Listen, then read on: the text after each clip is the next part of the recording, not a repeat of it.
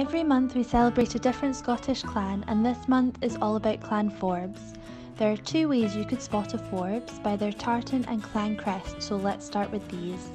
There are four Forbes tartan variations, modern, ancient, weathered and dress. The Forbes clan crest features an impressive looking stag's head and the motto on the crest translates to Grace me guide. The first Lord Forbes was Alexander de Forbes.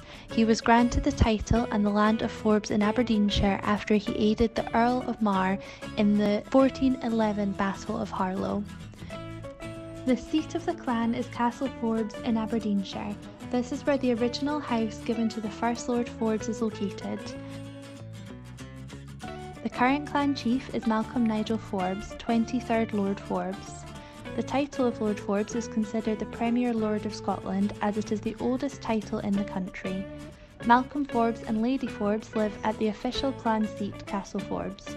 Thanks for joining us and be sure to check out our clan pages for more information.